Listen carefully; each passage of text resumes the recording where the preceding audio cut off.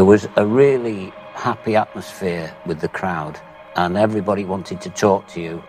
And every time somebody appeared or a, a guest would go to the cathedral, everybody cheered, even though perhaps they didn't even know who it was. I was at the bottom of the ramp, and my responsibility was to escort the Prime Minister, the Leader of the Opposition, and Lord Longford. There were many deep on the pavement, and there was a great mixture of families, of children, old and young,